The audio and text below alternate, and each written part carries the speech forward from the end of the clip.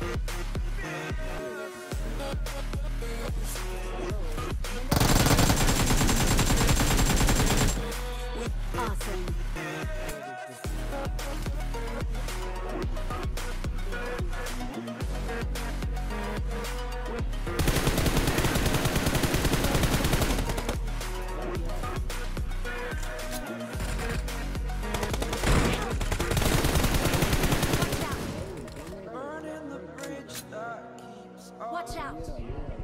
I'm here and I'm feeling,